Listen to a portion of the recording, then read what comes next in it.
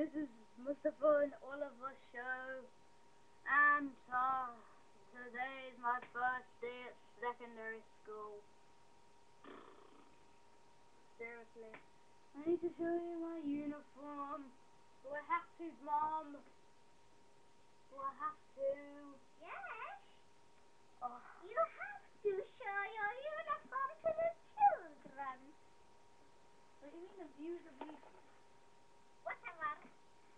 Okay. Hello, no, viewers, children. But about up. Right, this is my uniform. I hope you like it.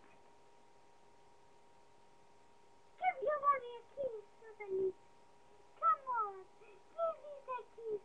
Um, there you go. What a good boy you are.